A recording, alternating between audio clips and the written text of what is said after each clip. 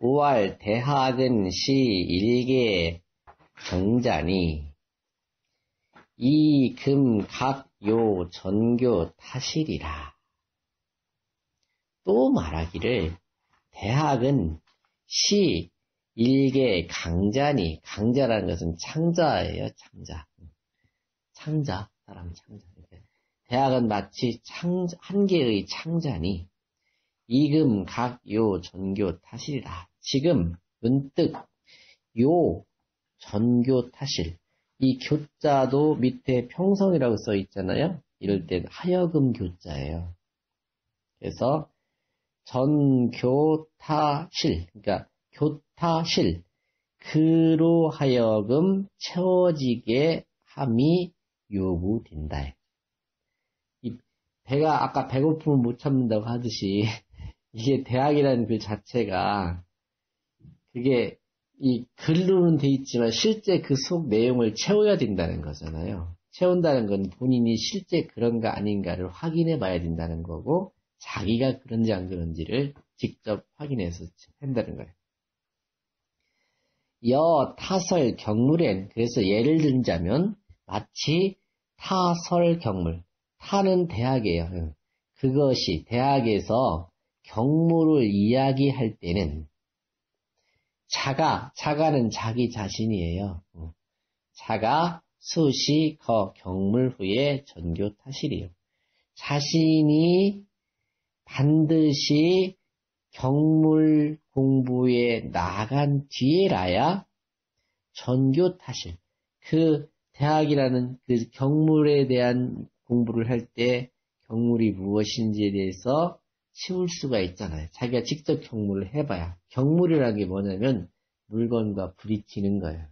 물건을 맞닥뜨리는 거예요. 자기가 맞닥뜨려 봐야 아 이거에 대한 이치가 무엇이지 이거를 찾아 나간다 이거죠. 착 성의 역에나니 그 다음에 이제 경물 취지 성의 정심 이렇게 순서로 나가잖아요 팔조목이 그래서 착 성의 역에나니 성의장에 붙여 나가서도 또한 그렇게 해야 된다. 진짜 이게 성의, 내가 성의가 있는지 없는지, 가짜인지 진짜인지 내가 부딪혀 봐야 성의로 채워진단 말이죠.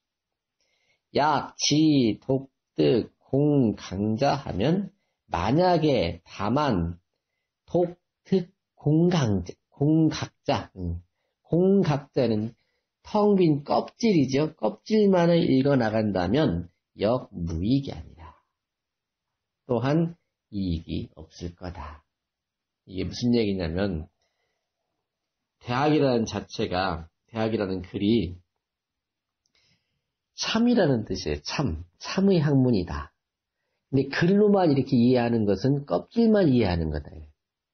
그러니까 실질적으로 경물, 취지, 성의 정심이 무엇인지 그 실제로 들어가서 그거를 꼭꼭 채워야 된다. 자기 마음속도 어떻게 보면 음. 그렇게 해야만 이 경, 이 대학에서 말하는 이 글이 나와 동떨어지지 않고 나와 하나가 되는 거잖아요. 그렇지 않으면 껍데기만 핥다가 핥다가 가는 그런 꼴이 된단 말이죠. 그렇게 되면은 역무익이 아니라 아무 이익이 없을 거다. 다시 한번 해석을 해보죠.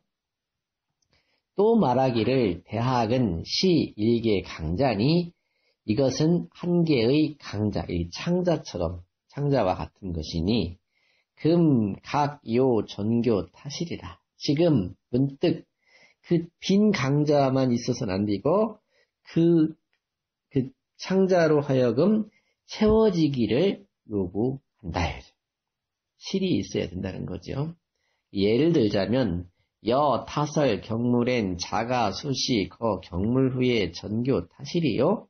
예를 든다면 대학에서 말하는 경물 자리에 있어서는 자가는 자기 자신이에요. 자신이 반드시 경물하는 그 이치에 나간 뒤에라야 그 전교 타실, 그 대학에 말한 그 경물 자리를 채울 수가 있고 착성의 여견하니 성의장에 나가서도 또한 같으니 약, 지, 독득, 공, 각자 하면 만일 그 빈 껍데기만을 독득 읽어서 알아나간다면 역무익이 아니라 또한 이익이 없을 것이다.